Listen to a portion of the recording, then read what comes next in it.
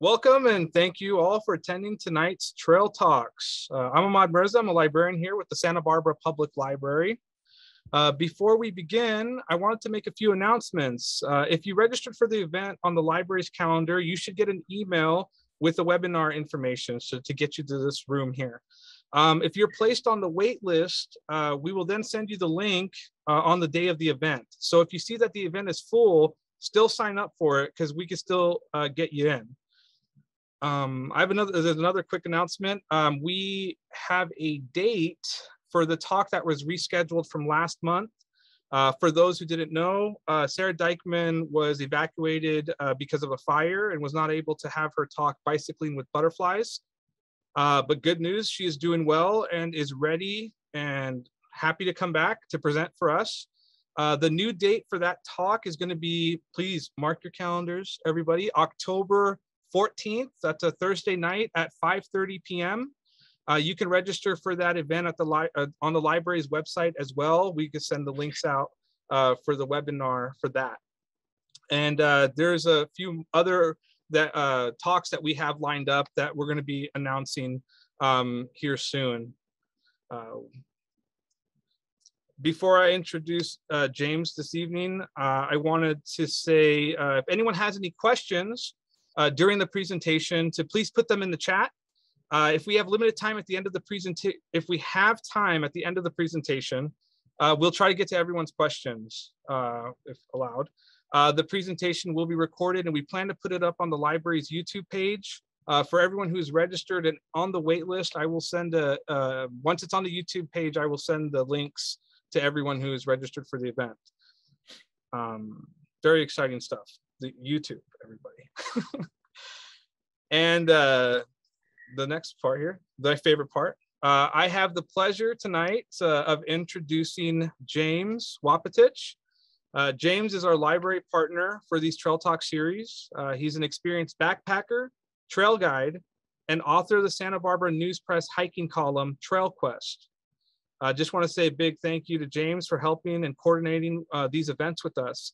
Uh, if anyone here is interested uh, in following James's adventures, uh, you can check out his blog, www.songs with an S, songsofthewilderness.com.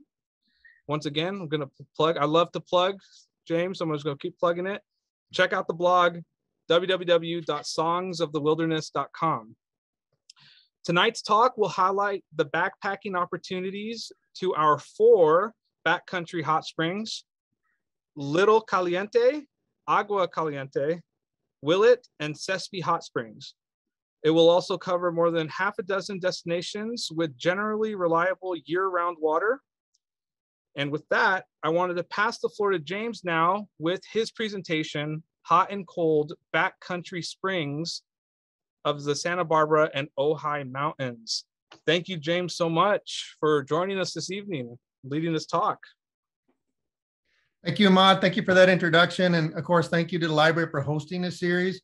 Um, in, without the pandemic interruption, we've been doing this for about three years now. Uh, so it's great that there's been so much engagement and so many people interested in these topics. Um, so yeah, Ahmad introduced what the, the topic is going to be tonight. Uh, so maybe I'll skip past that. Uh, so I do have a couple quick announcements. Uh, there's a very exciting event coming up uh, October 10th hosted by the Montecito Trails Foundation in collaboration with the Barbareno Band of Chumash Indians um, and the Tribal Trust Foundation. It's uh, in recognition of Indigenous Peoples Day, and it's um, it's really just acknowledging the fact that these trails have been here uh, much longer than us, and that many of these trails uh, in our backcountry and front country are historic Chumash routes. And so part of the hike will be an interpretive map uh, that will call out some of the different features and you know their Chumash names uh, for the plants and some of the other natural history. And it's a guided hike, so it's free. Just go to the Montecito Trails Foundation website and you can register and you get all the details uh, to go to this free event. Um, I'm also excited to kind of break the news here that uh, I'm hosting a, a, workshop at the Santa Barbara Botanic Garden uh, Sunday, November 7th. And uh, it's on Introduction to Wildlife Camera Tracking. And I'd say for about the five, the past five years, uh, I've been actively using wildlife cameras. I have about a half a dozen sites in the backcountry and also here in town uh, that I've been getting photos from. And all the pictures here on the screen are actually from my cameras. And so the, the class is going to have two parts. Uh, one is like a presentation on how to select a camera and how to pick a good site to place your camera. And then we'll also be doing a hands-on uh, installing of our cameras. So uh, that should be pretty exciting. Uh, I'll put an announcement on my blog once the details are finalized. And then also a number of people ask me if I'm leading any hikes, any guided hikes. And so I actually do have a series of five hikes coming up starting in October called Take Five Hikes. And the intention is to take a break from basically all the stressors in the world right now and get it on the trails. And on each of those hikes, I'll be offering some interpretive information as well as mixing in what I would call, you know, wilderness awareness skills, uh, mindfulness, and just other practices that I have that help uh, deepen and enrich the experience on the trails and just help us better appreciate where we live. Um, so the first hike will be in October, and uh, that one's called Nature's Bounty. The theme will be working with edible and medicinal plants. Uh, the second one is Islands in a Sea of Chaparral, and that's going to be focusing on the interplay between riparian and chaparral plants and what it has to teach us about, you know, how the land organizes itself and how we could get into alignment with that. And then the Great River is also going to explore uh, some of the geology, but also also how did everything get here in the first place? And then the door at the center will be a mindfulness workshop. And then the last one, finding your way home, is just how to integrate some of these uh, nature awareness skills into, into our hiking and our daily lives. So I'll put that on my blog as well. So the, the inspiration for this talk for me was uh, a little bit as Ahmad said, we're going into the fall here. And a question that always seems to come up in the fall is like, where can you go backpacking? Where can you find water? Uh, so I really sat down and gave it some thought, like, gee, where are the places that I often go or recommend to people? And then also occurred to me that in the fall, it's kind of a nice time to go to the hot springs, uh, just because, you know, as the weather kind of gets cooler, it's actually a fun place to go. In the middle of summer, the hot springs aren't that exciting, right? Um, but once we get into mid-October, our temperatures start to dip down into, uh, I would call the more pleasant range, and it just makes it more appealing to get out into the backcountry. So yeah, the big question is, where is there water? Um, some of you may know that we live in an area that is semi-arid. And so in the springtime, you could have this glorious display of water. Uh, this is Horseshoe Bend. And uh, this is a, a, typical April scene where this pool is just full of water. Um, but then come even summer, it's just gone. There's no water at this particular site. Uh, and what's interesting, this is along Manzana Creek, is just a couple miles upstream is um, Coldwater Camp, and that has year-round water. And so that really got me interested over the years of like, well, what are the places that have water and what are the places that don't? And is it possible to kind of track that? Uh, and what I kind of noticed in just my own practice of tracking where there is water and where there isn't water is that there's a lot of variables. Um, it can change because amount of rain that we get. Um, so I put this in here because this is even interesting. This shows the amount of rain over a 100 year average where it's landing in the county. So you can see that the places with the most amount of rainfall on average is the San Ynez Mountains. And then the backcountry gets less water. So it's not even evenly distributed. But over the course of the year, it's also not evenly distributed as well, in the sense that there can be places with a great deal, not a great deal, but you know, that have water and other places that don't.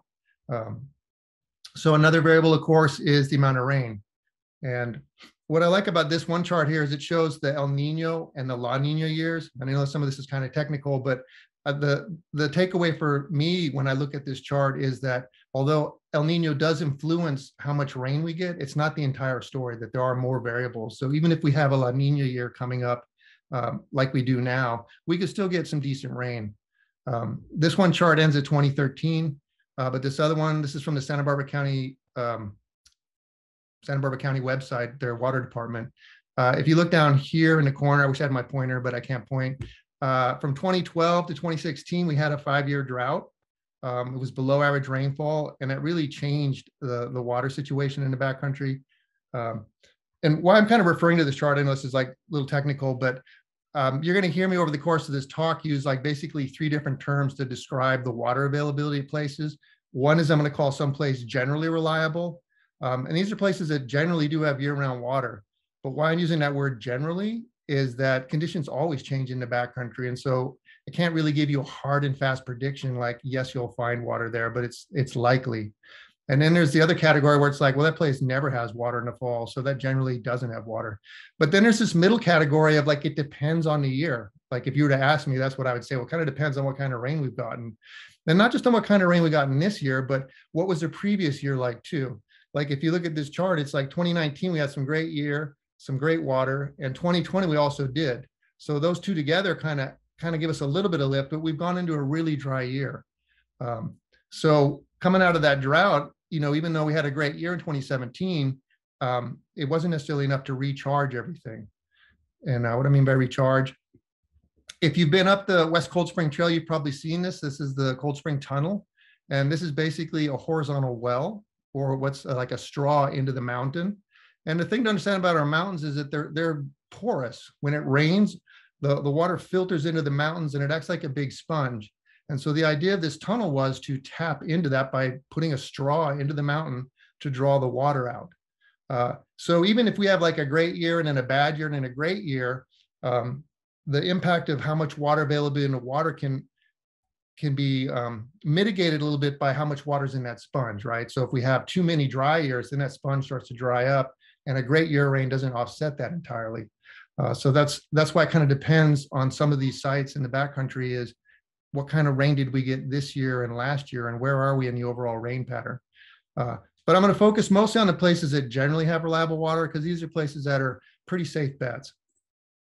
Um, also want to talk about the, the trees for a little bit. Um, so this is along the Manzana. This is a place with uh, generally year-round water, but why I have this in here is two reasons. Is uh, a tree that will tell you if there's generally year-round water is the alder trees. Uh, alder trees, as my friend Lanny likes to say, likes to have their feet wet, right? So they're going to be right here along the side of the creek and they're going to pick a spot where they can get water almost year round.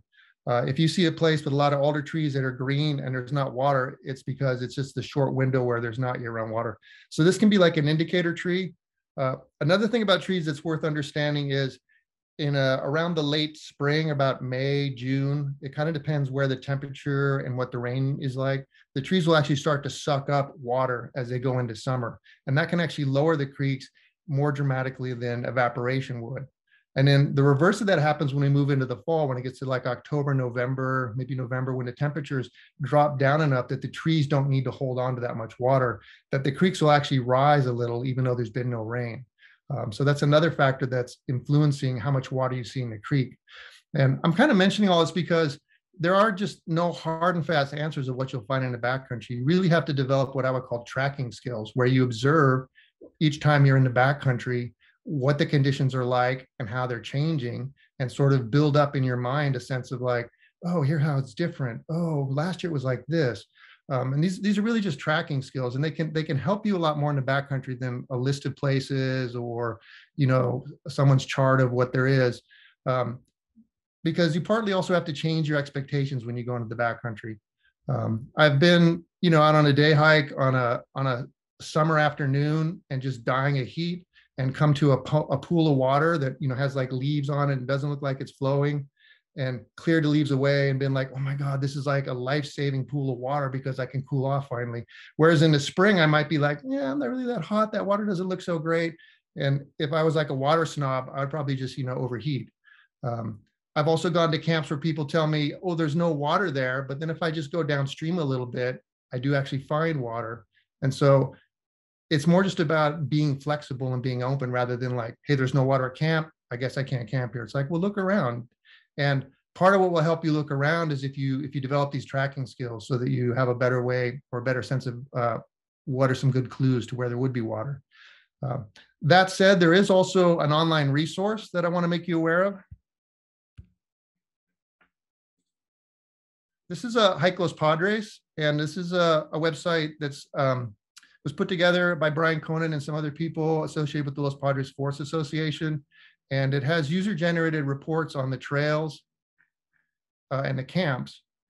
And uh, for me, one of the most useful features is the water reports. And these are all user generated. So I go on a hike, I, I go onto this website and I just update, I just put in a report of like what I saw. Was there water? Was there not water? So you can kind of quickly scan this website uh, and just kind of be like, oh, here's some places that seem like they had water recently, right?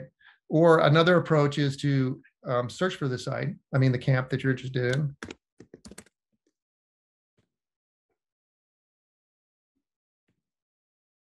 Internet slow. Oh, because of Zoom, I get it. Oh. So I picked Haddock Camp for a reason. Um, well, here, let me show you. So here's the water reports for this place. So someone has been there in August and says it's dry. Um, so if I was thinking of going to Haddock and was curious about the water, I might also look back at some other autumn dates, you know, like, hey, what's the water like in autumn? Hmm, kind of a trickle back then. You know, oh, flowing in November, hmm, maybe that was a good year for rain. You know, maybe we had a storm or something that brought it back up. Um, so I could scan through here. Um, wow, the November, you know, in 2014 was dry. That might have been a dry year.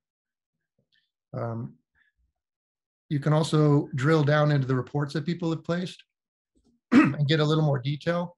And why I picked Haddock is one year I did actually look this up. I, I, looked at the water report for April and it was like flowing water. And then I looked at it like late May and it was like, oh, water a quarter mile downstream. And then I looked at it for August, water a mile, half mile downstream. And it, it kind of showed me that like the water, um, that it's not black and white, that it's not like, hey, there's water there or there isn't, that there could actually be water nearby if you're willing to look. And this site is only as good as the people who report on it. And since people don't go out as much in the fall, you're not going to get as much information. But learning how to extrapolate the information can kind of, you know, give you some confidence of like, huh, I might likely find water there or somewhere nearby. Um, so that's that's how that's a useful resource. That's Los Padres. And if you just Google Los Padres, that's like the first site that comes up. All right, so I'm going to be talking about several different things. I'm going to cover the four backcountry hot springs, as Ahmad said, um, plus just some other places that have, you know, generally reliable water. And I'm just going to mix them up together. But on the four hot springs, I'm going to hit the ones here, Little Caliente and Agua Caliente. I'm going to skip the front country ones because I wanted to focus on places you could backpack to. Um, with the road closure at Romero Saddle, the only way to get to Big and Little Caliente is to backpack in or, or ride your bike or take your horse. Um, but you can't drive there now. So technically it's a backcountry hot spring now. And then the two backcountry ones in Ventura County are Willett and Sespe. And then I'll cover the other ones as we kind of go through that area. So the first place I want to talk about is Little Pine Spring. This is actually one of my favorite areas. Uh, the hike up to Little Pine Spring is about um, six and a half miles. Uh, I wish I had my pointer, but anyways, you, you start over by Upper Oso and you hike up the Santa Cruz Trail and it climbs up away from the valley and crosses over to the backside of the mountains. And in Little Pine Spring generally has year-round water and the trail continues to Santa Cruz Camp. Uh, so here's here's a typical view of Oso Creek in the fall. It's usually dry. Uh, sometimes there's a little water near 19 Oaks, but it, that's one of those places that it really depends on the year, uh, whether or not you're going to find any kind of water there. So I would personally put this in a category of like, I'm probably not going to go there in the fall because I don't know if I could find water, but I would definitely go to Little Pine Spring. Um, so the trail climbs away, for like I say, from Oso Canyon. If you look sort of in the center of the um, image here, that's a view towards 19 Oaks. And it just continues to climb up the top of the mountain. This trail was badly damaged in the Rey fire, uh, particularly in the slide area. If you can see the, the bracing walls. Um, this is like somewhat like a year or so after the Rey fire, and it's kind of grown back, so it's it's gotten better. This is a view of what this area looked like before the fire, so it's always been kind of challenging because of these shale slides that you have to kind of scramble across. Um, but the fire burned some of the retaining walls, so now it's a little more challenging. Um, it's gotten easier over the years just because more people have hiked it, um, but it still kind of looks like this. The trail does need work. Uh, so if you're not like confident in your backcountry skills, you might want to skip this this particular hike, but if, if you go out regularly, this is it's a worthwhile investment of, of your energy. Um, it does crest out here at Alexander Saddle. Uh, that trail, um, you see that trail running up the ridge. That's the trail that goes up to Little Pine Mountain. So that that's actually a nice day hike to run out there and back. Um, but from here, the trail continues down the backside of the mountain. And this is also an area that got some real slide damage. Uh, this was actually the sketchier part of the trail back when it first happened um, because the slides just kind of covered the entire trail. Uh, the stuff has gotten a lot more hard packed now, and some people are walking it, so you can kind of find a way across it. Um, I would not recommend this after a big rain because it'll change the characteristic of this. Uh, but I've been out there at least six times um, since the Rey fire, and, and conditions keep improving, and I, I, would go again. You know, some places I wouldn't go again because it was too much work or I felt uncomfortable. But this this trail isn't too bad. Um, so it continues on its way down to Little Pine Spring. Uh, I put this in here because uh, I was out here in Memorial Day and did get to see a rattlesnake. uh, I was kind of joking to my buddy when we are out there that I was a little disappointed that it didn't rattle at us. I kind of felt like, gee, we didn't rate, we weren't like menacing enough, but um, it just we gave it some space and it worked its way off the trail. And then of course, as we walked by, it rattled at us because it, it must have heard what I said. Uh, and then on that same hike, the day before, we saw uh, California king snake. So that was kind of cool to see both of them on the same hike. Uh, here's the turn off the Little Pine Spring. Um, the trick to finding this place, because some people do have a hard time finding it, is uh, this is looking back up to where that turnoff is, is you kind of follow the edge of where the grass meets the um, chaparral for a while, and then that kind of peels away and goes out into the grass, and then eventually it cuts across down to the camp. Um, Don't have like a better descriptor of that, but if, if you if you just follow the edge of that at first, you'll pick up the trail, and then the rest of it is just kind of using your route finding skills. Um, it's a cozy little camp with a picnic table. I love how this fire ring is these uh, metamorphic rocks. These are um, like the cinnabar rocks that you'd find over at Red Rock. And then back here is the spring. Uh, I would say this is, I'm going to use the word generally reliable. I've only heard one person tell me that they saw that it was dry ones, and I'm not really sure if they were actually accurate because like I've seen the trough empty, but I've always seen water coming out of the pipe. And uh, Kerry Kellogg, who was the wilderness trails manager for the Santa Barbara Ranger District for 25 years, has said he's never seen this dry. So I'm, I'm kind of going to lean on his uh, his expertise on that one. When I was here one time with a buddy of mine, we were uh, standing around the, the picnic table having our breakfast, drinking our coffee. And I'm just kind of aimlessly looking, you know, up at the hillside because you can see the trail from the camp. And I see this bear walking down the trail. And I'm like, what? And then he looks at me like, what? There, what? And so we both have this like moment of kind of exchanging glances. glances. Uh, and so he, he stopped and checked us out for a moment. Um, that tag in his ear, ear suggests that he might have been like a, a bad bear, meaning a bear who got too habituated on people, was maybe going into campgrounds or something, and got relocated here. Uh, but his behavior was still what I would call typical of our backcountry. Is once he saw us, he just he scampered off down a trail. Uh, a lot of the bears in the southern Los Padres, where we are, um, are, are typically they, they don't want to interact with people and they will just scamper off. I've had more than like a half a dozen bear encounters and they've all ended with the bear, you know, running away and sometimes can't even get a picture. Um, versus like in other areas where they're a little more aggressive, where they have associated with people, people uh, with opportunities for food. Um, and it is important to like not keep your food out where bears can get it, whether in a residential area or out in the backcountry, because anytime there's a conflict with a bear and a human, the bear is the one that's going to lose. And we don't actually need to leave our food out like that's the choice we can make. Um, so it's really it's us taking care of the bears by not doing that.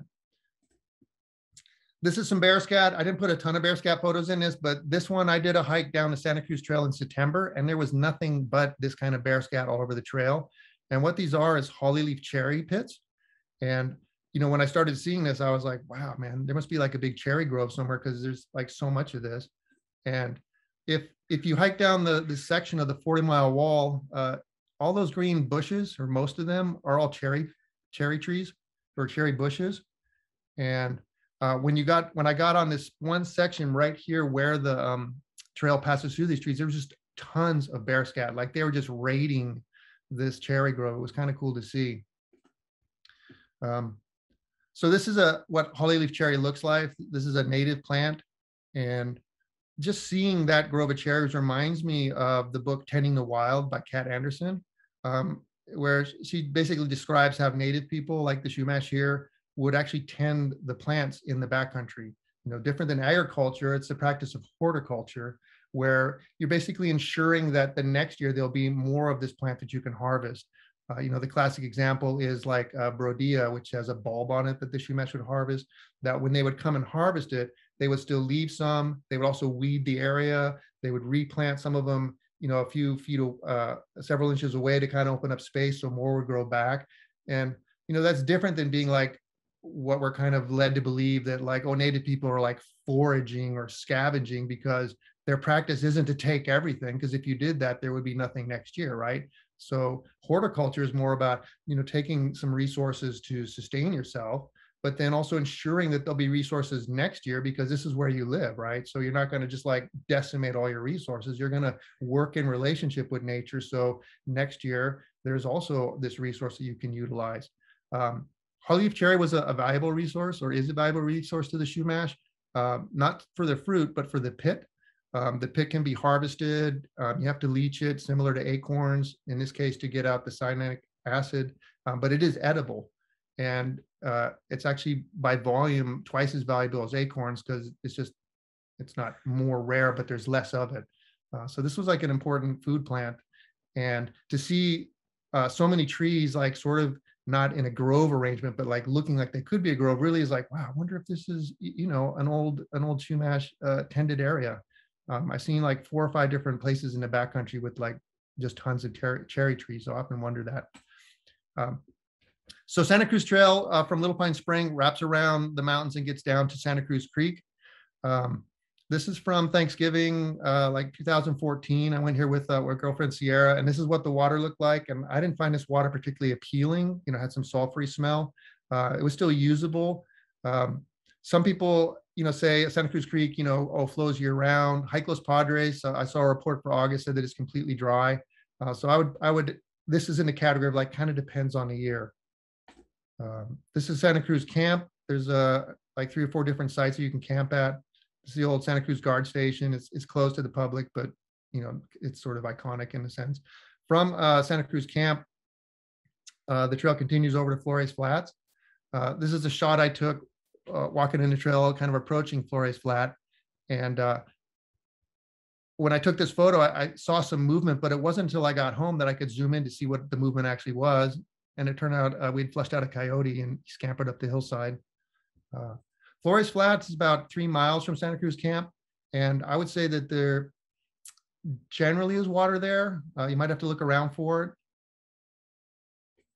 This is uh, that same year, 2014. Um, like I said, I wasn't that impressed with the water by Santa Cruz Camp, but when we got up towards Flores, uh, a couple of the crossings weren't that good, but just at the outskirts of the camp, um, we did find this water. So that was that was pretty cool.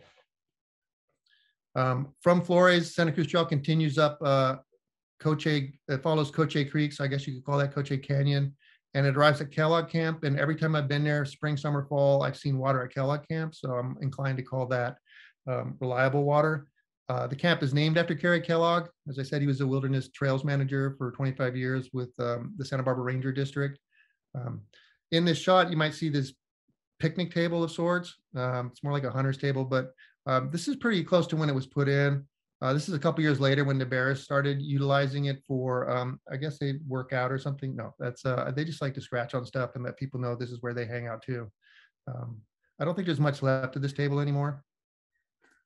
So just past uh, Kellogg Camp, it meets the uh, the Grapevine Trail. So from here, Santa Cruz Trail goes up to the top of the San Rafael Mountains. Uh, the Grapevine Trail continues from here and goes up to Pelch Camp, uh, which does um, which also does have year-round water. The, the camp was named for uh, Pelch and Pinkham, who had a, a hunting camp out there uh, back in the 30s. And they would do deer hunting up uh, at Mission Pine Basin on the San Rafael Mountains, but they might go out for like a week or 10 days to do fishing and hanging out and all that kind of stuff. Um, this is uh, Amanda Pelch. Uh, I used to buy car insurance from her. And I was sitting in her office one day looking at the, the name placard on her desk and kind of said, Pelch, is that any connection to the backcountry camp? And she got like super quiet and looked at me kind of intensely. And I was, I was afraid that I broached a topic that I shouldn't have brought up. And then she said, How do you know about that? And I was like, Oh, I was in the Boy Scouts. You know, we, we uh, went to this place. It, it's pretty cool. And then when I wrote an article about Grapevine Trail, I, I, I tracked her down because I figured she would have some good history about the camp and learned that she'd never actually been there.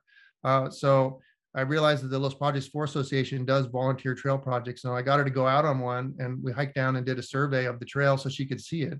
And so that was kind of cool for her to get a chance to see this place that, you know, her family uh, used to go hunting at. Um, so this little map shows, you know, Kellogg, Coche, and Pelch. And from Pelch, the trail continues up to Bluff Camp. I used to think that that spring up there was a reliable water source, but Hike Los Padres just reported on their website that uh, it's, it's stagnant. So it's like, mm, I guess it really does depend on the water. And this has been a pretty dry year. Same with the upper Indian. Uh, the next place I want to show you is this is Manzana.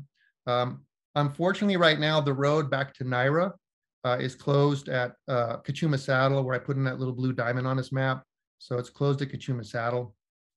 And as you probably know, right now, the entire forest is closed until at least the 22nd of September. Um, but this specific area is going to be closed till March of 2022.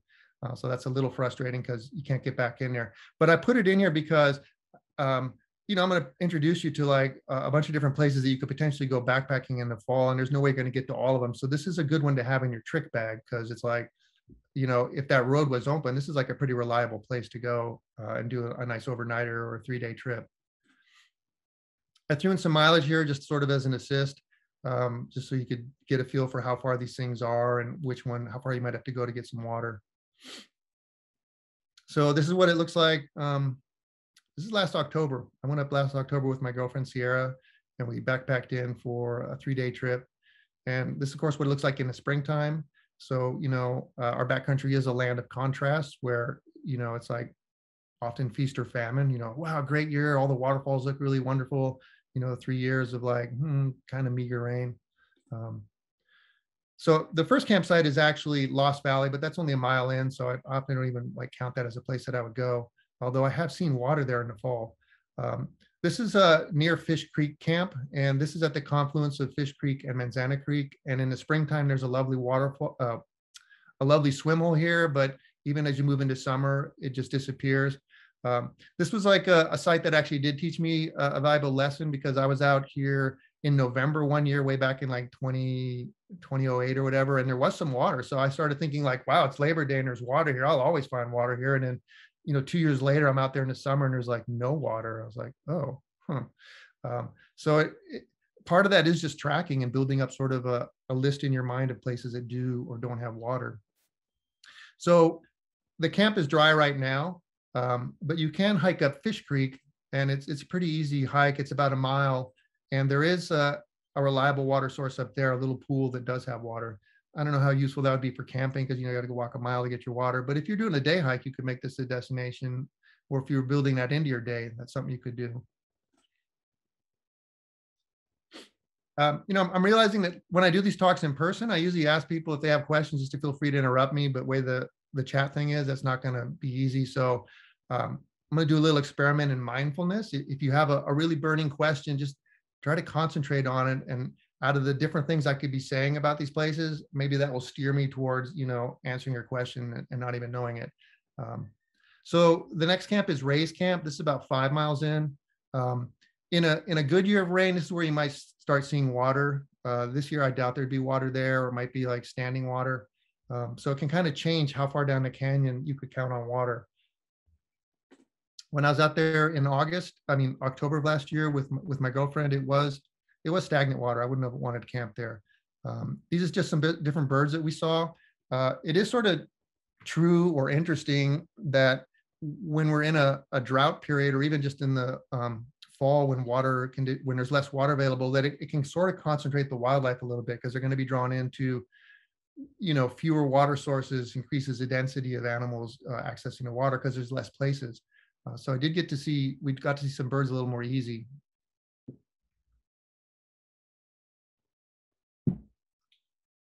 So we've got a, a flicker up here, a canyon wren. Uh, I think this is ruby crown sparrow. I might be wrong. And then um, a stellar jay. This is um, actually this is looking back down into uh, Manzana Manzana Camp, and this is about six miles in, and as I was saying, as you go up the canyon, each time you get a little bit further, the water chances improve. Uh, wish I had my pointer, I could just point where the camp is, but it's basically just right down in there. And back in October, that's where the water just started getting nice, was literally like just right below camp. Like you could walk down the street, I mean, the creek, um, and see where the water ended. And it was interesting. We were out there for two days, and where the water ended actually went downstream a little bit, even though, like I was saying, there was no rain. But I think the trees were just letting go of some picking up less water because it's interesting to see the, the water go a little bit further downstream over the course of three days. Uh, I went one year in 2017 and there was no water at Manzana Narrows and this would be a tough year to find, I mean, sorry, no water at Manzana. And that could actually be true this year just because of the drought. Um, so the first place I saw water that year was halfway between Manzana and Manzana Narrows. And then this was the water I saw and I was like, wow, this is some great water. Um, this is a uh, camp. This is the waterfall. This is from, you know, the spring when it's always really going great. Uh, I was up there one year, that same year, 2017, and this pool was actually stagnant. It was standing, and that that kind of spooked me because I'm like, wow, I've never seen this place not have water. Gee, I, I could be wrong about it being reliable. But then I walked downstream just a little bit and found where it was flowing, and it was usable. Uh, so this is this is definitely at the very high end of reliable.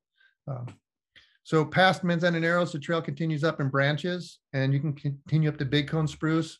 Big Cone Spruce is about nine miles in, but it generally has reliable water. This is a shot of the camp. And then from here, it's another mile up out of the canyon to um, the top of the San Rafael Mountains, and that lets you tie into Mission Pine, the Mission Pine Trail. And so I'm going to mention that because there's a way to kind of stitch some of these places together that do have water. Also, I just kind of wanted to mention, I, you know, I did a rough count and I came up with at least like 20 or 25 places in the backcountry that do seem to have, you know, generally reliable year-round water, uh, but there was no way to cover all of them. So, you know, um, just know that I'm not going to be putting all of the places in here. Uh, so this is uh, the Mission Pine Trail. I put in a little bit of mileage. It's nine miles in. Oh, let me back up. So you can start this one. This trail starts at Cachuma Saddle, so you can still access this even though the road's closed because the closure starts right after Cachuma Saddle. Um, so you could drive up there. It's nine miles up the road to McKinley Spring, and then from McKinley Spring, it's another four and a half to Mission Pine, another four to Mission Pine Basin, and then from Mission Pine Basin, it's actually about three and a half miles down to where Coche Camp is. So you could kind of connect these these up.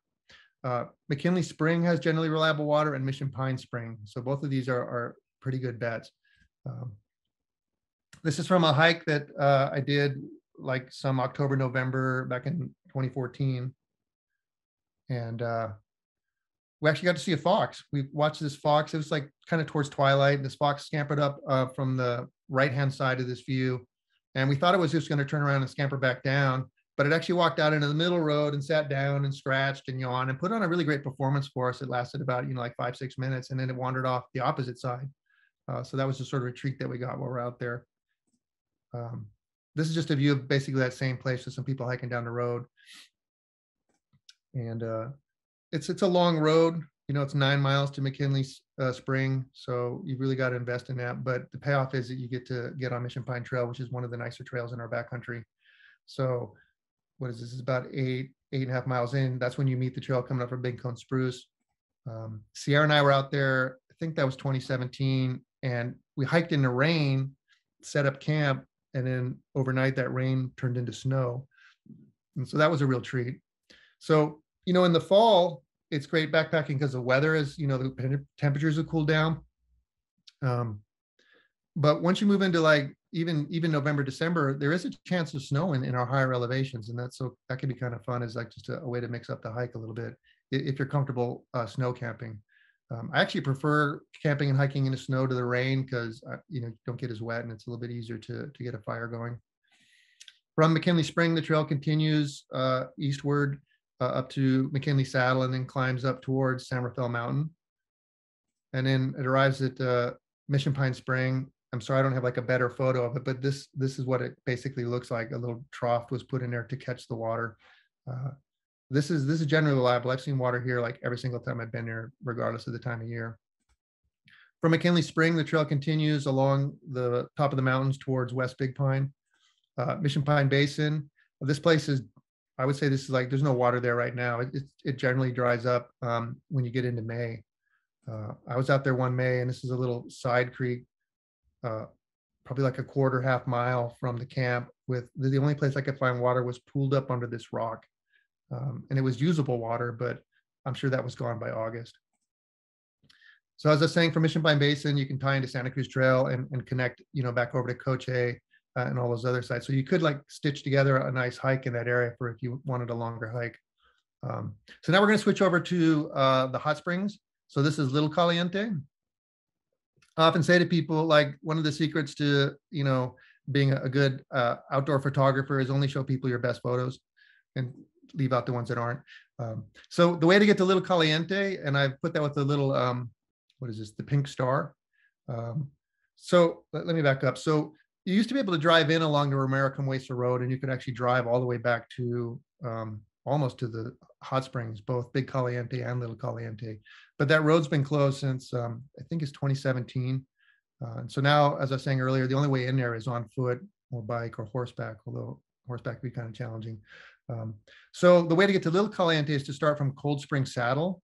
This is where the Cold Spring Trail, you know, that starts from behind Montecito, climbs up over the mountains and drops down the backside. But you can just drive up there and then hike down the Cold Spring Trail, continue to Forbush Flats, and then continue on over to uh, Mono Camp. Um, so it drops down towards Forbush. Uh, there's a camp, you know, at the edge of this meadow. Uh, you probably would have a hard time finding finding water there right now because it really depends on the, the rain. Um, last year I was there with Sierra and upstream we did found find water, but the camp was dry. Um, this is called the Emerald Pools. This is continuing past Forbush down towards the San Ynez River. And this is a place where if I was going to go to Little Caliente right now, I would I would stop at the different pools in this section because they always have water year round. So I would gather up my water there because it's unlikely that I would find water at Mono or Little Caliente to drink. So this is one where I'd have to carry it in. This is a better trip in the springtime when there's more water and you still want to soak in the hot springs. But if you really want to get out there, you just got to plan to bring your water. This is a shot from uh, the summertime. And this is just what one of these pools look like. Give you a feel for it. Um, this is San Ynez River. This is from March of one year. I'm mostly putting it in to illustrate that this river can actually be impassable depending on the conditions. This time of year, it's going to be like pretty much dry, so it's easy to cross. Um, this is from the Mono reroute. The old trail used to like follow uh, the river course, of, I mean, the creek course of Mono and it would often get flooded and disappear. And if he's looking at this map where it's kind of called out the nose, is like you could kind of follow a trail all the way about then, and then past that is where it really would get bad. And I've heard stories of people like losing their shoes and getting lost there. And I've hiked there and had to just cross country uh, up the creek to get to Mono. So this route gets up on dry land and stays up there. It has a lot more up and down, um, but it's a little bit easier to follow. And when I was out there, even talking to people, they didn't even know that there was a reroute. You know, they don't even know what they're missing. It's it's gotten so much easier than it used to be to, to do this hike. Um, here's a view of what's called the Mono Jungle. And so on the left is where the trail used to try to like find its route. Um, this is Mono Camp, where uh, Sierra and I camped uh, for Valentine's Day because you have to go camping Valentine's Day with your girlfriend. And when we were there, this uh, hummingbird um, kept fluttering around while we were sitting at the picnic table. And I said, Hey, I bet there's a nest nearby. And, we just kind of looked around and found that there was. Uh, this is what the water looked like uh, Valentine's Day. So we, this was usable water. We could find a little trickle. This is what it looks like when there's no water. So It's just kind of dry. And this is what it looks like when we actually get a great year. This is more like in April when the water is really good.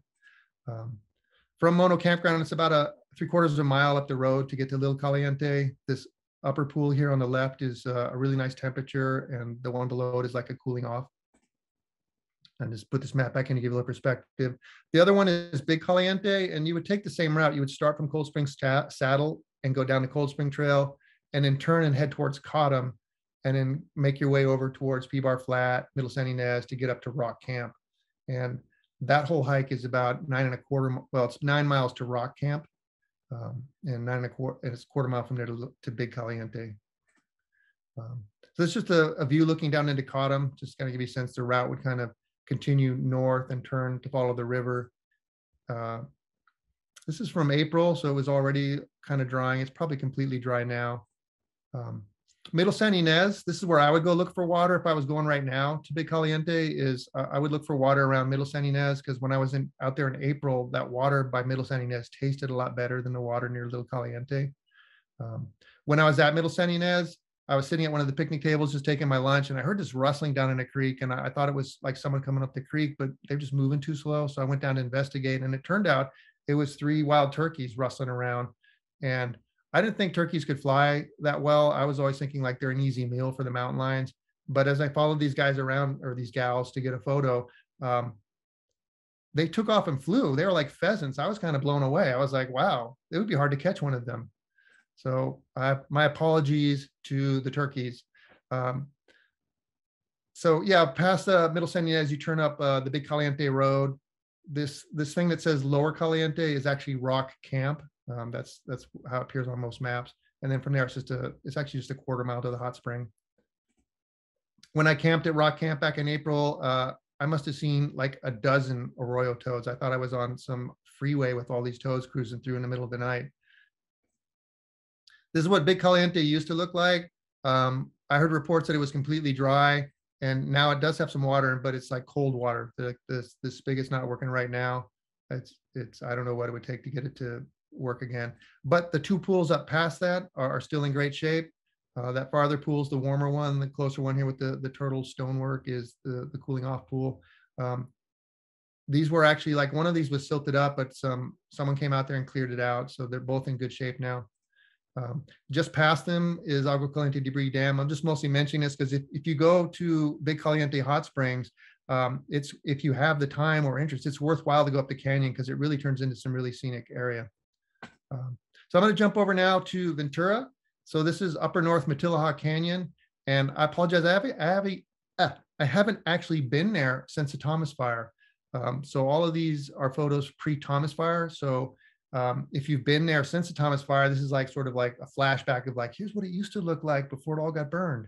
Um, and now, you know, it's growing back. It's still, it's still a nice area. I've seen photos that people have posted. Um, why I'm showing this place is that there's year-round water in Matilija Canyon at all of the campsites. So this is like an amazing place to go backpacking because it's pretty user-friendly. Um, I put the mileage here. So like the first camp is a mile and a half. The second camp is four miles. The next one is 5.5. Maple camp is 7.5. So you could almost go out and just sort of pick your destination as you're out on the trail. This is from a Thanksgiving back in like, I don't know, 2010. Um, really good year for water, but you would still find water at this crossing. Um, just some views. This is what the water is at Middle Matilija.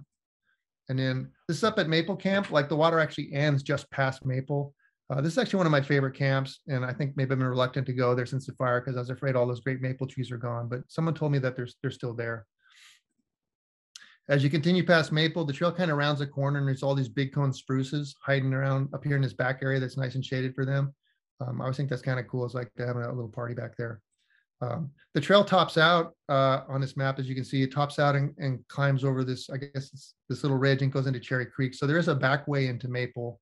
Uh, that's just four and a half miles. Uh, when that road's closed in the fall, that's kind of a, a, decent hike too. And I mostly put this in here to show you this this cool mountain lion tracks photos that I got along that road when it was snowing. Um, so the the hot spring. So from Matilija Canyon, uh, the first hot spring you would see is Vickers. This is the one that um, Ecotopia manages now.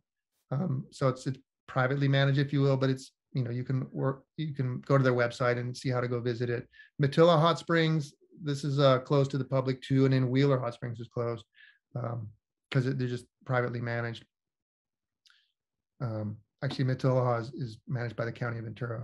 So Willett and Sespe are the two back um, the two hot springs you can access in Ventura County, and they both require backpacking to get to. Um, so Willett is nine and a half miles in and Sespe is 15 miles in. So you could do Willett as an overnighter if you're a pretty ambitious uh, backpacker. Um, it'd be challenging to do Sespe as an overnighter because it's a 15 mile day in and 15 mile day back out. But I have met people who've done that. Um, I would do this as a three day if I wanted to go visit both of these.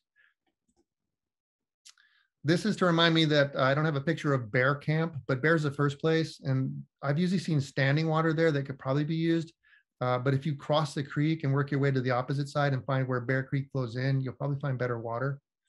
Um, this is a like three quarters of a mile past Bear Camp. Um, there's a little side trail that double back up to the spring. And looking at Hike Los Padres website, this looks like a pretty reliable spring. So this could be a water source along the trail. Uh, the Sespe flows intermittently in the you know summer into winter. This is a view out towards Oak Flat if you look down here in the lower, what is this, right-hand corner, you can kind of see some water. When I was out there December 2013, um, that standing, that big pool of water wasn't that appealing, but just a little bit um, upstream, there was flowing water. Uh, this year, I, I, don't know, this has been a dry year. This is a view from the little side trail that goes up to Willett. So this is kind of showing where Willett Camp is. And there, there are a couple dilapidated uh, cabins down there, but near one of them is a water spigot that taps into uh, like a spring fed um, tank. So that's a reliable water source up in that area too. This is Willett. Uh, I've heard different stories of how this tub got in here. All of them involve a helicopter. Um, so if you're curious, you can like research that and find out, or maybe you just have to talk to people, figure out how it got there. This is the old Willett, the, the Joaquin Willett homestead. Um, this is continuing up past Willett to get over to Sespe Hot Springs. This is that view from 2013. And this is from, uh, this is actually from earlier in that same year, like back in February or March. So you can kind of see uh, how dramatically it can just change in our backcountry just over the course of moving through the seasons. the trail continues up, um, actually, I'm sorry, down, down the Sespe and then turns up the side canyon uh, to go to Sespe Hot Springs. Uh, there's some, there's a trail camp out there. And then there's like sort of a homemade camp here by these, these palms. And then the trail continues up. I'm not the trail. I mean, there's sort of a, a used trail, but the, actually there's a trail. The trail continues up, but the creek also does. And at this rock crop, rock outcrop is, is where the spring actually flows out. And I meant to look it up, but this is like, I think 120 degrees or some sort of like, you're not going to get in this water. Um, but this is where it comes out from the rocks. But if you go downstream a little bit, you know, back to kind of where those palm trees are, you can find like pools in the creek that are at a temperature that are suitable. And what's kind of cool about the Sespe is you can just kind of like hike up and down the creek and find the temperature you like. Like, oh, that's too hot. I'm going to go downstream a little bit. And oh, it's a little cooler here. Um, I've I've drank the water from this creek, you know, further downstream by the camp and filtered it, and it seems fine.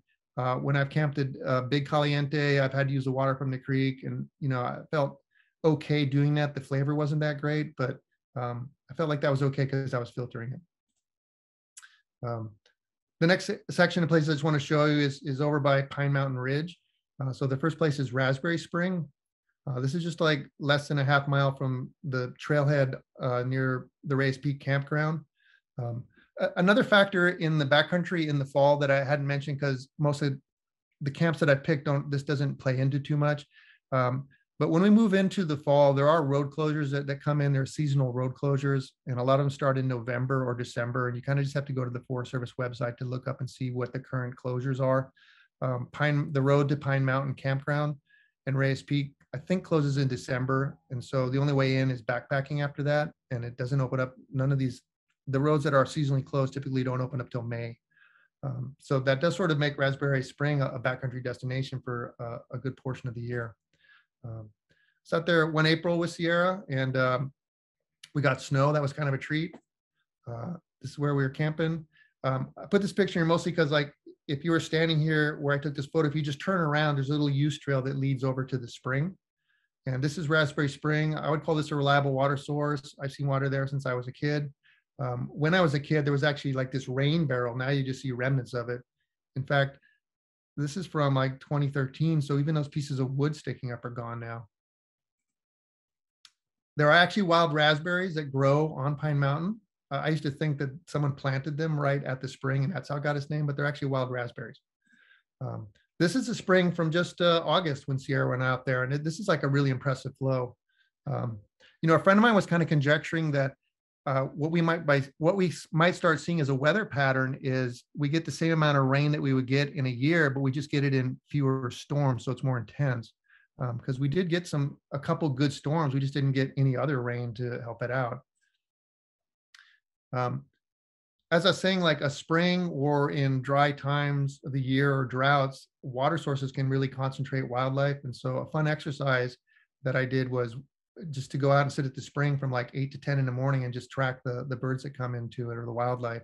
Uh, these are pygmy nuthatches, red-breasted nuthatch, um, steller jay, woodpecker, uh, squirrels will come in, the pigeons uh, when I was doing this uh, little experiment, I was sitting there and I noticed the pigeons would sort of creep in and sit on these branches, but never come down to the spring. And I almost started thinking that like pigeons don't drink water, uh, but they're just really cautious. And then they eventually did come down. And when the pigeons started drinking, everyone else was like, well, it seems like if the pigeons are thinking it's safe, we should all get in on this. And at one point, I, I actually thought I was going to be overrun by wildlife because there were so many animals coming down here to get a drink. And then, wouldn't you know it, this one squirrel comes down and takes a look at me and just gets really upset, just starts chirping really loud, giving an alarm call, and spooked everyone out of there. And so that kind of ended the party. But it was funny that this squirrel was just like, why, why is there this big potential predator sitting right by the spring and no one cares? So that was the police. Um, so when I was up there in August with Sierra, I took one of my trail cameras and attached it to the tree overlooking the spring just to see what I would get. And um, this was actually a big score for a trail camera because this is just one day, like overnight. So a family of deer came in and got a drink, and two golden eagle, two juvenile golden eagles came and got a drink. So that was pretty exciting for the amount of you know investment to put the cameras up. So in the same area, um, the Gene Marshall Piedra Blanca Trail is a great fall destination. I've always seen water at Upper Reyes and Bear Trap. I've gone out there Thanksgiving a couple times. Um, you can just come from Reyes Creek and, you know, go up to Bear Trap. That's like four and a half miles or I guess 4.7 miles. So it's a great overnighter, or you can do it as a shuttle trip and, you know, go from one side over to the Piedra Blanca side. And that's about 20 miles. Um, I did that as a three day this last Thanksgiving. So this is a great destination for the fall because A, there's water and this area, even in the springtime, is a really scenic area. There's an incredible amount of plant diversity. Um, I put this photo in here to remind me that this trail, once it crosses a creek, you'll see some poison oak, and then you won't see any poison oak for like the next 18 miles, 17 miles. It's like if you don't like poison oak, this is a great trail because you're not going to see any until you get over towards the Piedra Blanca. Uh, this is uh, Upper Reyes. It's uh, got cedars, you know, it's uh, tucked in amongst the cedars. Um, the trail comes up from Reyes Creek Campground and goes up one canyon, drops down into Upper Reyes Camp, and then climbs out of that canyon and drops down into uh, Bear Trap Canyon. This is from this year Thanksgiving, and this is from 2014 Thanksgiving when there was a little bit less water going on, but there was still great water there. Um, this is the second bear scat photo when we're out there, me and Sierra back in 2014. We saw a lot of scat like this, and it took us a while to figure out what these were. These looked like cherry pits, but they were smaller than the holly leaf one. And it turned out it was choke cherry. Um, and this is what it looks like in the spring when it's in bloom. Um, so when I was out there with my buddy Casey this past Thanksgiving, there was actually a little bit of snow, and we were kind of kind of joking like, "Well, we're really lucky because the snow is just sort of like pretty right now. It's not super deep. We're not having to fight it. We're not having to figure out where the trail is. Just really making things all kind of decorated."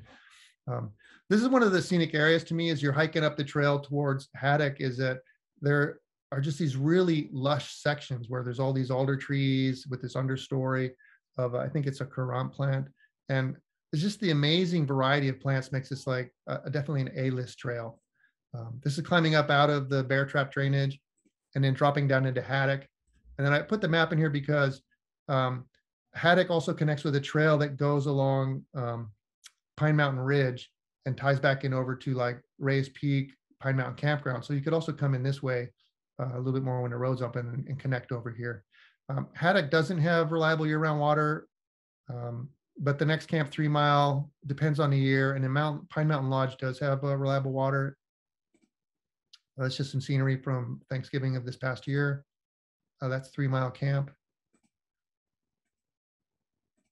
And then this is a Pine Mountain Lodge. And this, the trail crosses, I mean, there's a side trail that goes to the camp and it crosses the creek and that creek is kind of intermittent depending on the year. But if you just follow that creek up a little bit, you'll find a, reliable uh, year-round water source. This water is really good. There's also another Pine Mountain campsite that um, it's too hard to describe where it is, but I haven't seen reliable water there. Sometimes there is, sometimes there isn't. Uh, so the trail kind of past Pine Mountain starts its way down into the, um, down towards Piedra Blanca trailhead and, and the Sespe River. Uh, I didn't put in pictures of those two camps, but Twin Forks and Piedra Blanca Camp both have year-round water. Those are nice little overnight destinations. They're like, you know, three, four miles in coming in from the Piedra Blanca side.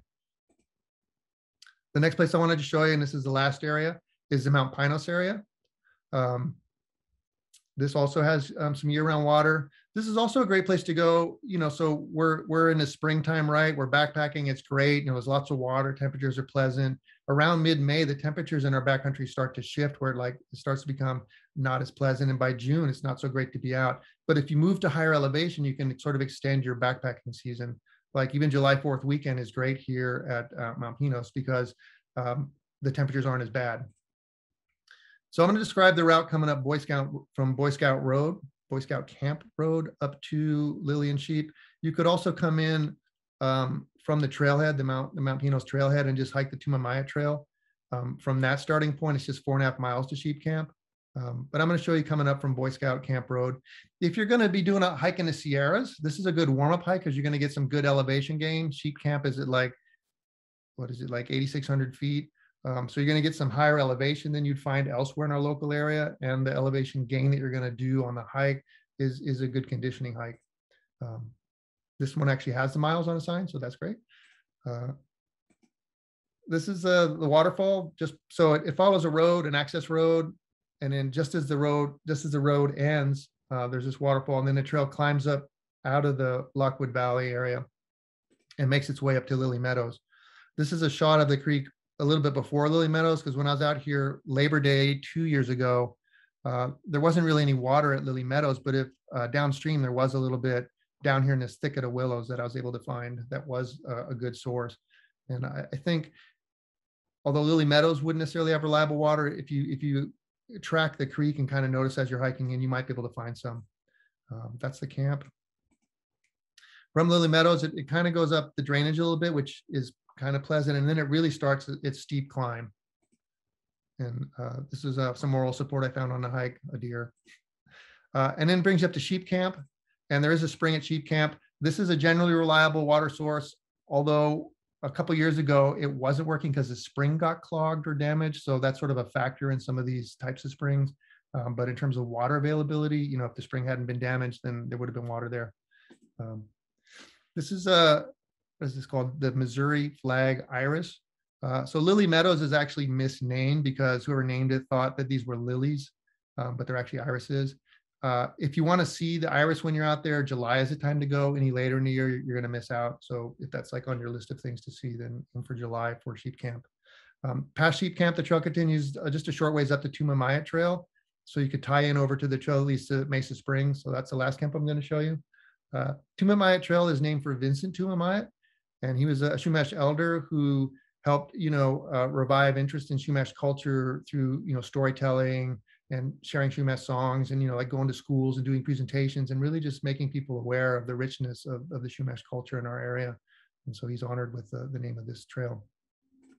Uh, Mesa Spring Trails drops down from the top of the mountain, goes through pine country and then transitions down into uh, juniper pinon pine and then gets to the spring.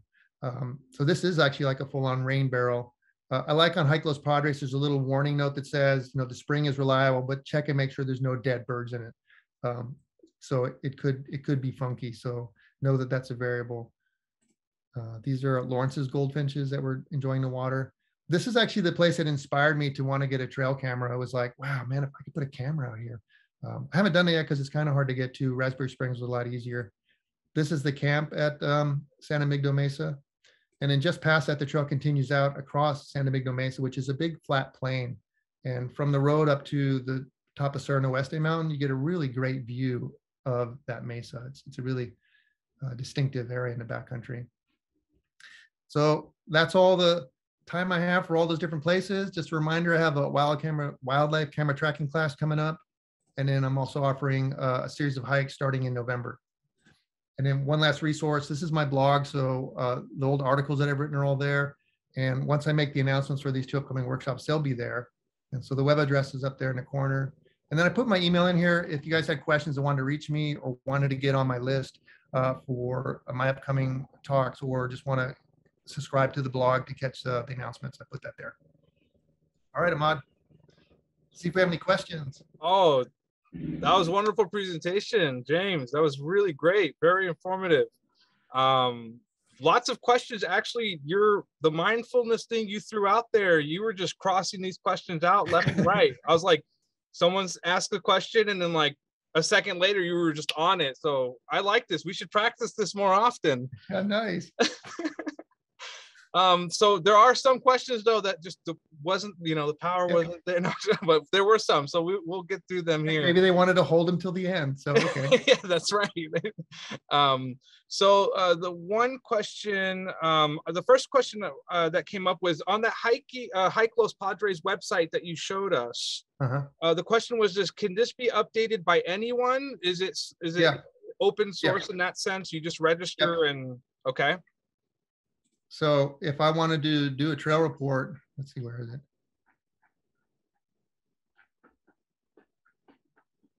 Oh, see right here. So I would just, I would just fill this out. Okay, know? perfect. So I could go, you know, you know, I could change the date, type in my name, put a little note like, hey, there was great water there and I saw a bear and that was cool. And then I submit it. Um, so yeah, there it's, it's entirely user generated. Um, and so it is a mixed bag because like if someone doesn't go there, then no one's going to report that. If I go on a hike and I don't put some notes in, then that's information that only I know. Um, but it is it is a great living resource. So, no, that's great. That's good to know. Um, another question that came in is how do you get uh, to Upper Matilija and Maple? Uh, we day hiked to middle uh, middle Matilija Falls, and it seemed to end up Uh-oh. falls. So, so there are there are two trails. Well, not two trails, but uh, Matilija is a word that's used for a number of places. So, those people who hike, they started at the Matilija trailhead at the end of the road, and if you continue up the main canyon, mostly going west, that will take you to Matilija Falls. And there's not really anywhere to camp there. There's like some throwdown campsites that people have made, but the falls is like its own destination. But if you're doing that hike, you would pass the turnoff up Matilija, North Fork Matilija Canyon. And that's where the trail camps are that I'm talking about. So they're two separate canyons off the Matilija Creek. Okay. So if you get to the falls one, that's pretty much that's there. Yeah, kind of the trail kind of dead ends at Matilija Falls. Okay. But on that hike, you're going to pass the turnoff um, to Upper North Fork Matilija, which is uh, which is where the trail camps are, and that's a nicer place to camp because there's more space and yeah, it's just a better place to camp. And then I got another question here for you, James. Uh, have you been to fish bowls in the Sespe? And if you have, what's it like? I've been to fish bowls. Uh, there's an article on my blog, not to promote the blog, but there's a picture of it in a description. Um, I thought of in, there was a, a, number of places I thought of including in this talk, um, just because there's a lot of amazing places in the backcountry. Uh, as far as I can tell, fish bowls and Cedar Creek Camp don't necessarily have year-round water. Kind of depends on the year, but if you go out in the springtime or even Memorial Day, depending on it, fish bowls is a pretty cool site. Um, you make sort of a loop hike. You can tie in both those camps. It's not too bad of a hike. You know, it's like under 10 miles round trip to do all of that. So I would definitely recommend it. It's a cool thing to see. It's like just a carved out pool in the sandstone creek and yeah. Um, there was there was a, a couple questions. Um, well, a couple questions regarding uh, the quality or the safety of the drinking the water at the springs. Um, how how do you approach it? Yeah, yeah. So um, I, I would not want to gather water right at the hot spring because too many people using them. Um, so I'm kind of when I'm in the background, I'm kind of gauging how far I am from where people might be, you know, getting in the water and bathing. So at little, I'm sorry, at uh, Big Caliente, um, Rock Camp is a about a quarter mile downstream from the hot spring. So to me, that's like, well, that's enough, you know, ground that that water has covered to naturally filter itself and have other groundwater runoff meet it and kind of mitigate that a little bit. Um, so I've I've done that twice when I'm there. I've used that water and I felt okay about that. Um, when I was out there in April, what I did notice is that the water at Middle San Ynez campground tasted a lot better. So I wish I'd loaded up there and just carried the water for like, you know, two, three miles because it just tasted better. Um, at Sespe Hot Springs, that creek is so, you saw the flow. That's like a definitely big flow. Um, and that camp within that photo, that's like a like a mile below the hot spring um, or at least a half mile. So that flow really helps mitigate that too. And there are some a couple side creeks seasonal that flow into it. So you know, I look at that that offsets that. But I would not just go dip my cup, you know, near where I think people are bathing or even like you know filter that because it's man, I don't want to do that. I got uh, some questions are rolling in. This is great. That's great. Um, so uh, this question is, do you hold or can you recommend workshops on packing appropriately for extended hikes? Um, and in a comment additional to that, someone needs to start a scouts program for adults. Unless it exists already. so yeah, so I do teach a, a, backpacking class in the spring called Backpacking Made Easy. And so we, we cover, you know, gear and trip planning and you know a lot of those aspects of what I would call like the the technical skills. But then I also do mix in route finding and working with maps. And then I also include nature connection, which is learning what I'd call wilderness awareness skills, because that really deepens one's experience in the backcountry and I find that those skills have really improved my route finding skills that I've honed over the years uh, because it's not just about a compass or a GPS. It's about really listening to what the landscape is telling you. And, you know, I've found things out there that I felt kind of guided to like, wow, I was lucky that I looked there for water, or I'm lucky that I thought to bring water from here. I don't know why I thought that, or, you know, so that mindfulness kind of can in, both enrich in the experience and sort of improve the ease of the trip. Um, so I try to blend that in a little bit. Uh, Scouts for Adults, that's a, you know, I think the closest, not like scouting program, but I want to give a little plug to the Los Padres Forest Association because they do volunteer trail work projects and they actually do backpack into places. And the cool thing about a lot of their projects is you get to drive on Forest Service roads as part of the project, part of the way. So someplace that it might take you three days to get to, you know, you drove in and only have to hike in the first day.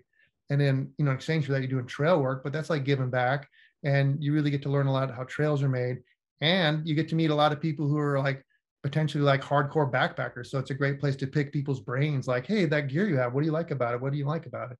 Um, or where have you been? So um, that's a great resource to go just check out. It's uh, lpforest.org and their calendar has upcoming programs i mean not programs but projects. Uh, they're all on hold right now because the forest is closed but you know just keep checking back in Thank you, James. Um, there were some uh, questions a couple people have uh, put out about like the, the crowds or how mm-hmm. crowded are are these? I know the pictures you you, you showed us were like it's like an oasis, no one's there. But in in reality, I know it depends on rain and time of the year. But can you expect to see other people around the area? Um, yeah, that's a great question, Ahmad, because um, I haven't been, I've only been to the Sespe like a couple times because it's just like too many people there for me. Um, when I was out there in December with my girlfriend and my sister, I, I, you know, I often just ask people like, Hey, where are you going? Where are you camping? Where are you from? And then I sort of got obsessed on that trip because everyone I talked to was from somewhere else.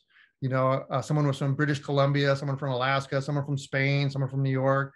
And I literally like started talking to every single person, just trying to find someone from the local area. And I found someone from Camarillo. I'm like, okay, okay, a local. Um, the truth is that the Sespe Hot Springs is the most popular destination in our backcountry. Um, just like, you know, Inspiration Point and Montecito Hot Springs is the most popular fun country trail. Um, if you go during the week, that can kind of help you. Uh, I went out there Thanksgiving one year and it was a zoo. Um, so I would definitely like plan to avoid that. Um, Little Caliente, because of that Mono reroute, it's pretty easy to get to. I mean, it's not easy like, oh, I'll just walk there, but um, it's much easier. So I, I saw a big crowd on President's Day weekend. Big Caliente, that's a little bit longer walk, nine and a half miles or nine miles. So that kind of filters out some people. Um, but hot springs are just popular. Uh, you know, if you're going to these other destinations that I highlighted, maybe not as many. The Manzana is a popular area. Um, yeah, there are places that just don't see as many people, like the Agua Blanca. I didn't include that in this talk, but the Agua Blanca doesn't see many people. Um, it's mostly just you know finding places that people don't go as much. Um, I don't have a better answer for that. No. So it is possible to have like a wilderness experience if, if you know where to look. And yeah, there are some popular areas too. Yeah, no, there's a few things I'm taking notes here. So like turkeys are fast and uh, avoid cherry trees. I'm going a different direction to see a cherry tree. No. Um, and I know that you touched upon. Uh, there was a question that if you encounter a bear, you know, what should you do? Um, and you kind of touched upon that a little bit. But to the you know, couple people that have asked questions about that, is you just maybe reiterate um, just what you said earlier because they, they they missed that part of the presentation. Yeah. So the the bears in our backcountry in in our area are are I would say timid. They, they just don't want to interact with people, so they they often scamper out and I know there's people out there right now going like, "Hey, I live in Montecito and I see bears coming down into my neighborhood," and you know that's a different scenario because they're like foraging and exploring their area. Um, so they're getting a little more habituated to people. But in the backcountry, the times when I've run into bears, they've generally just scampered off. Um, you know, the exceptions would be if they feel intimidated. You know, if I was like somehow taking a threat, threatening stance, that might change that equation. Um, you know, the classic one is if they have cubs, but um, even then you have to get in between the mother and the cubs. The stories i've heard where people were attacked by bears usually involve like someone's dog antagonizing the bear or you know people just being too aggressive with them. Um, if you do see a bear or a mountain lion for example that looks like it is you know taking interest in you then yeah you want to make yourself as big as possible and you don't want to run because that's going to trigger you know uh, their instinct particularly with mountain lions to chase you but get big and and use a, a firm voice you know like hey no hey you know like start talking to the animal and kind of make it understand that it's not worth its while. Um, you know something my sister says that um, animals want to try to avoid conflict because anytime they're in a conflict they're burning up energy. And so they're going to first go like gee can we just get out of this situation? Then i don't have to waste any energy. You know if we were to grapple i could risk injury. That's like a bad deal. That's going to cost energy. So sometimes they might just try bluffing um, you know occasionally a bear might bluff charge, but in general, in our area, they, they scamper off, you know. So so I wouldn't be too intimidated by oh there's bears out there because I used to, I used to be like that like oh there's bears out there but now that I've had these encounters I'm like oh there's bears out there. So Okay, and I got just a couple more here. oh, that's fine. Keep them coming. We Respect everyone's time here. Um, what's the what was the elevation um, in the photos that you showed where there was snow, or that you actually woke up to snow? Yeah, so I don't have that memorized, but um, the San Rafael Mountains. So that was McKinley Spring and San Rafael Mountains. I think those are in the four thousands, five thousand feet. Uh, Reyes Peak, I know, is in like five to 6,000 feet. And then the Mount Pinos, I didn't put any snow pictures, but you can go cross country skiing and snowshoeing up in Mount Pinos, and that's like 8,800 feet. Oh, wow. Um, so whereas the, the Santa Ynez Mountains are more like in the 3,000, just coming up to 4,000. So, so if we get a good rain and the temperatures are right, we can get snow in, in our backcountry. Cold Springs. Um, are permits required to camp along the trails? Um, if yes, how far in advance should one begin the process to get one? That, that's a great question. Uh, there are no longer permits required to go into our backcountry, um, but you do need a fire permit. And it's easy to get a fire permit. You go to, um, I don't know the website off the top of my head, but you just go to the website and you watch a little fire safety video and then you click a box and then fill out some form and then you get a fire permit that you can print out. So you are required to have a fire permit. And really the purpose of that video is to just make sure that you have the awareness skills of how to, you know, uh, practice, you know, fire safety in the backcountry. Um, right now, there are no campfires allowed in the backcountry because we're in a, a, fire ban. So that's another thing to track. Um, I forgot to mention it on the road conditions. If you go to the Forest Service website and go to current conditions, there's a page that will show you which roads are open and closed. It'll also, in that same area, show you what the current fire uh, ban is or requirements are. So you can you can go get updated on information pretty easily. And I guess a plug for the Forest Service, if, if you just call their office, they're happy to answer that question too, you know. So oh, that's sweet. Um, let's see here. I'm trying see this here. We get the elevation of snow. Um, could we get one more time, uh, James, the uh, the the the page that you had with those uh, dates of the the hikes that you you have planned that Yes, the take five yeah. hikes. So I'm gonna get this on my blog. Um, and I might change which day I do which hike. I got to figure that out just because you know the trails are kind of closed right now. So this will be on our local trails, and it'll be a different trail each day.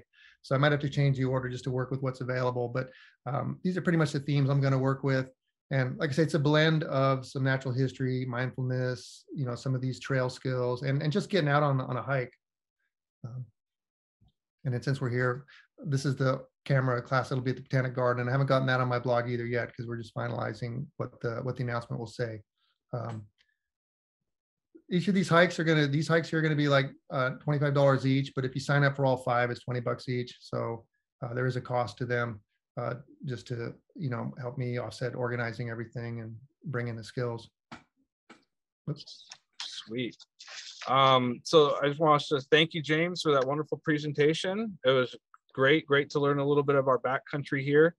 Um, I want to also let everyone know that's still here that uh, the the presentation is is recorded and uh, we plan to get it up on the YouTube site. Um, when we do, we'll send an email out to everyone, and I'm sure James we can get it on a newsletter too with the link for the YouTube page for the people that uh, might have missed the presentation today. Mm-hmm. Um, want to also do uh, just a reminder for it's on the library's website uh, for the next one, next Trail Talks uh, scheduled for October 14th uh, with Sara Dykman. That's a reschedule. Um, and that's going to be at 5.30 Thursday night. Uh, that's the Bicycling with Butterflies. Um, and uh, once again, I want to thank you, James. That is a great presentation, a very active group questions and chat. Um, want to plug the, the blog one more time, songsofthewilderness.com. Please, if you're not in James's newsletters, please, please, please uh, get on that newsletter. You can show James there a way that they can access or to add themselves to the, your newsletter from your blog there. Um, I'd have to go to the website, but this is the what the homepage looks like. So if you just kind of scroll down below where it says categories, there's a like, you know, sign up for a notification or whatever. So it's right there on the homepage. Yep. And please, if you're not following it, follow Get the updates for the classes that are coming up and and and more Trail Talks information as well as uh, potential workshops that you know we're going to try to work on, try to work together here to get some out there. Um, yeah, and Ahmad, thank, thanks for hosting this. And uh, if you see that email or even Ahmad's email, you can email either one of us to say, I want to get on the library list to know when the next you know, Backcountry Trail Talk is through the library, because we'll add you to the list so you get the notification. We really appreciate everyone's time today, especially appreciate you, James. Great presentation. Thank you all so much for attending. Thanks, everyone.